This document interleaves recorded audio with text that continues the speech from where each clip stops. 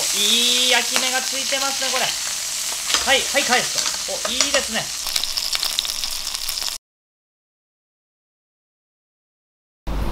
はいどうも。リュウジ研究家の料理です。いい感じにもなってきたんでね。アルコール摂取量がね。今回はですねおつまみ作っていきたいと思います。今回はですねあのコストパフォーマンスがもうめちゃめちゃいいね。もやし。あ落ちた このもやしを使ってですねもやしの爆弾作っていきたいと思いますリュウジのバズレシピ今日はねもうほんと簡単なんですよこれ見てください混ぜるだけで簡単にできるっていうね、まあ、混ぜ、まあ、や焼くのか焼くんですけどもっていうねレシピなのでじゃあやっていきたいと思います。このもやしにですねえーと、豚ひき肉これ 170g 入れるんですね。ほっ！ねねお塩。軽く軽くやっちゃってください。胡椒ですね。胡椒はねあの思ってる3倍入れてくださいソーミシャンタンです。大体小さじ半分。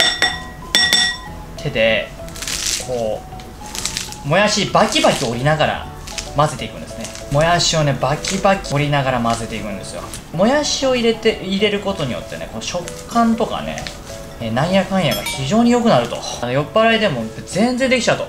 あいつを思い浮かべてこうバキバキに折ってくんですよ。そうするとね非常に美味しくなるのでね。もやしの形が残ってると形で作る時に大変になっちゃうのでもやしバッキバキに折るぞみたいな感じで。揉む時のコツなんですけども右手で揉みながら左手で飲んでいくと。あこうすることによって左手は汚れてないのでもう除菌持っていただいても構いませんので。これあのー、これこのようなポイントです。お肉混ざり合いました、えー、混ざったらお肉をね半分にします。半分に半分ずつ分けます。片方ずつね、えー、こうやってまとめていくんですね。ハンバーグ状にしていく時のコツっていうのがちょっとね真ん中をへこます、まあ、ハンバーグもね、えー、同じなんですけど真ん中から膨れ上がって火が通りにくくなってるの真ん中をへっこちょっとへっこます。そしてハンバーグ状にまとめていく。もうこっちも同じです。真ん中をへっこませていく。これ重要でございます。こういうこういうこういうこういうこう火にかけていきます火にかけていきますあのフライパンを火にかけていきますそしてですねごま油大体大さじ1これぐらいかな、まあ、ちょっと多かったかもしれないけどまあごま油ね多ければ多いほどうまいのでねフライパン温めていきますごま油でね香ばしさをつけてね豚肉の臭みとかねこのもやしのもやし臭さとかねそういうのをね消し去っていきますそしたらねあのこうやってね入れていきます。ね十分温まったらね。はい。もやしの爆弾をね。ずっと中火でいいです。火が通んないの怖いので蓋をしながら焼いていきます。3分3分ぐらいかな。肉の焼けた香りとねごま油の香りがねあのこうやってちょちょっと開けていくとパタッパタってなっていくとこうふわふわっと香ってくる。パタッパタッパタってやってるとふわふわって香ってくってゴクゴクって飲んでくる。ね。あんま開けちゃダメです開けるとね蒸気逃げるからね。今のはプロモーション。飲酒のプロモーションです。なのでですね皆さんねあのこれもう我慢強くこう蓋しながら蒸し焼いていくんです。蒸し焼くことによって中に火が通りやすくなるんですね。はいここ料理コンピューカーポイントです、はい、皆さんはくれぐれもあのバカみたいにあの飲まないでいいですからね。本当にたしなむぐらいで大丈夫です、はい、ちょっと23分やりましたね。そしたらひっくり返す。いい焼き目がついてますねこれ。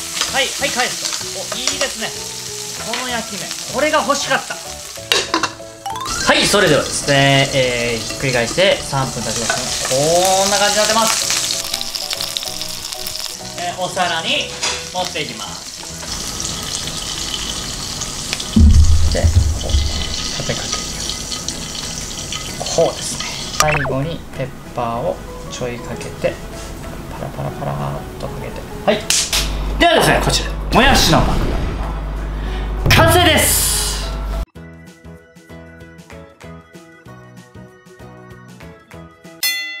はいそれではできましたのでいただいてください。ますまあこっからはね違いますよね。一番のやつ。ああいただきますいただきます。いただきます。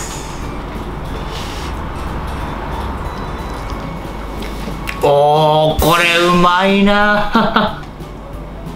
あのねもやしを混ぜ込んでえー、バキバキに折りながら混ぜ込んで焼くことによって非常にですね肉の内部に水分がとどまるんですね。なのですっごく噛んだ瞬間にね超絶ジューシーなんですよ。固めて焼いてあるお肉なのにつなぎ使ってないんですよね。片栗粉とかあのパン粉とか卵とか普通は使うんででもこれ使ってない。もやしだけなんですね。こんなに簡単なねこんなに美味しくて。いいのが一番になるよこれは。異常に簡単なんですけども異常にうまいので異常にやってほしい。もやしの爆弾からの微笑み物の爆弾です。2つ丸をつけてちょっぴり大人ですよ。